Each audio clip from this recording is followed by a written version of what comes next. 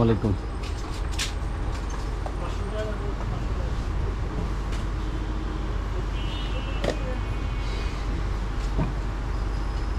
বস দেখেন তো এই মেডিসিনটা আছে কিনা দাদু मतलब है ना दिया दस ना स्लिप लेके आओ है ना जो करा দিব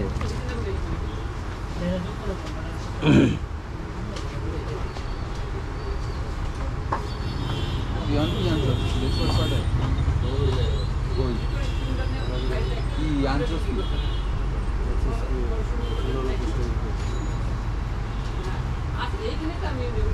আরে হেরে এরিয়া আনছস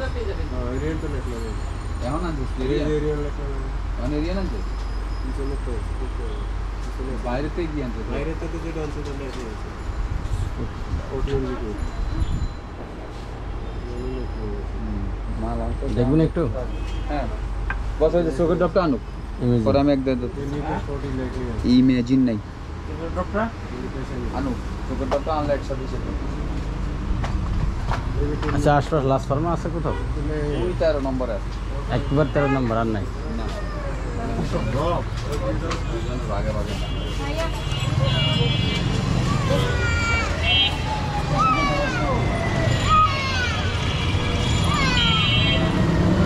আল্লাহ কোথায় পাবো এটা amazing.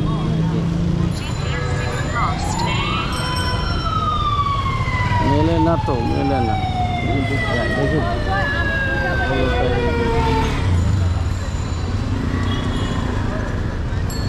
মিলাই তো দিবই, আল্লাহর উপরে ভরসা রাখলে পেয়ে যাব। এখানে আবার কারা? এরা কি করে? বাড়ি ঘর নাই? সরি অ্যাকসেপ্ট করতে পারলাম না। আমি যেদিকে যাচ্ছি যে লোকেশন দেখায় একদিকে কোন দিকে যাব আল্লাহ যে দেখি আগে। ঢাকায় এখনও তেমন ভাবে এখনও জামজমাট, জমজমাট হয়ে ওঠে না। কারণ লোকজন তো এখনও গ্রাম থেকে আসে নাই। মানে গ্রামে থাকাতে কত শান্তি, গ্রামে কত মজা, কত আনন্দ। যারা গ্রামে আছে তারাই শুধু জানে।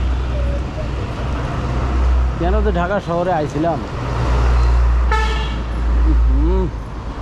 প্রচুর দুর্গন্ধ। গর্ব লোকজন যদি একটু চুন ছিটিয়ে দিত, তাইলে আসলে এই গন্ধটা থাকতো না। আমাদের উত্তর সিটি কর্পোরেশনের মেয়রের মহোদয়ের কাছে রিকোয়েস্ট থাকবে। আপনাদের যারা কর্মচারীরা আছে যে রোজগারগুলো দেখাশুনো করে, তারা যেখানে গরুগুলো জবাই করা হয়েছে, বিশেষ করে তার আশপাশ যদি একটু চুন ছিটিয়ে দিত, তাহলে গন্ধগুলো হয়তো থাকতো না। কারণ আকাশের বৃষ্টি নাই, যার কারণে গন্ধগুলো প্রচুর পরিমাণে ছড়াচ্ছে, এতে মানুষের অসুখ হওয়ার সম্ভাবনা বেশি। কারণ প্রচণ্ড দুর্গন্ধ, রক্তের গন্ধ তো ওরে বাবারে।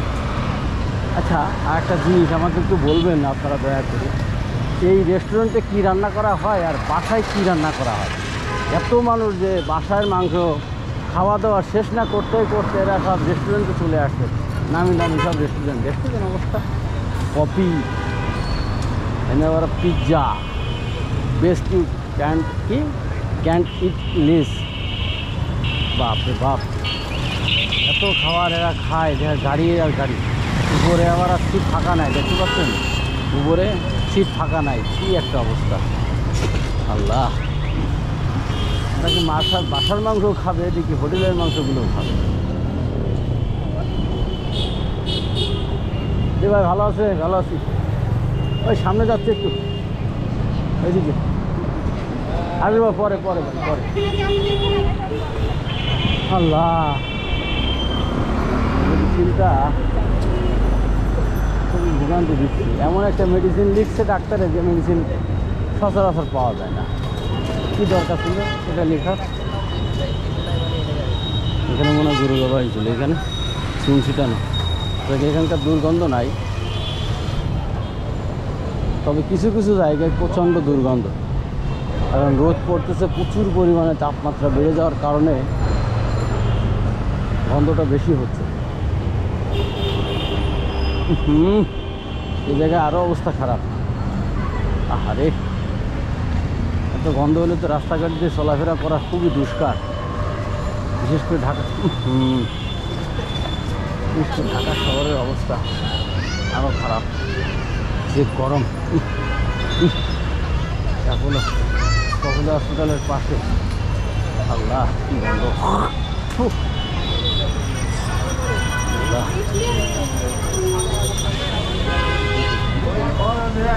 পপুলারে আসলাম।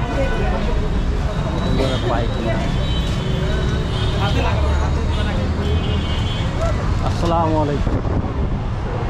আচ্ছা এই এই মেডিসিনটা কি আছে আপনাদের কাছে? দেখেন তো। ইমিজিন এই যে ইমিজিন এই ইমিজিনটা পাওয়া যাবে? না আচ্ছা আপনাদের এখানে ফয়সাল নামে একটা ছেলে আছে না? জি। আছে উনি? এই মুহূর্তে তো না আমি বাড়িতে। ও এখন এই ছুটি গাড়ি আসে নাই? শনিবার ও আচ্ছা আচ্ছা। ঠিক আছে। সালামু আলাইকুম। হ্যাঁ। হ্যাঁ হ্যাঁ। আমি বেরোয় গেছি তো। না না সমস্যা নাই আমার মাল কালকে দেবো আমি আমি স্যারের জানাইছি বুঝছেন? বলতে আছি গাড়ি নিয়ে দরকার নেই, কালকে দিয়ে দিন আমি কাছে ঠিক আছে, স্যার। ঠিক আছে, আর ওই মালিকের ব্যবস্থা নাকি করবে? কয়, রূপনগর অফিস কি মাটিকাটা অফিস? রূপনগর কি অফিস না? আমি স্যার, এটা স্যার আপনি মালিকের সাথে কথা বলেন। কারণ আমার ড্রাইভার মামুন যখন মালিককে ফোন দিয়েছিল স্যার, এখানে নাকি দু অল্প করে মাল আছে, এই মালগুলো নিয়ে যাচ্ছে। কিন্তু মালিক বলছে যে, না, আগে নাকি ওইখানকার মালগুলো নিতে নিতে হবে। ঠিক আছে? এই জন্য। ঠিক আছে, দোস্ত? ভালো থেকো। সালাম আলাইকুম। আরে কোথায় এখন কি সেই চোদ্দ নম্বরে আবার কি যাওয়া লাগবে নাকি আল্লাহ দেখি মিলাই যায় কি না মেডিসিনের দোকানে তো অভাব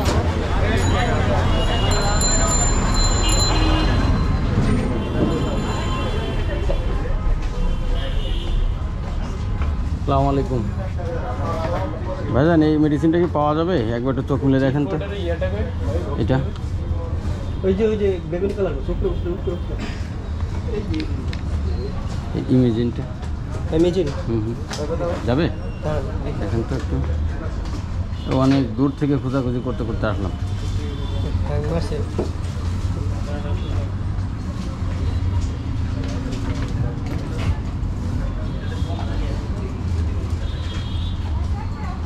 একটা রেট হ্যাঁ?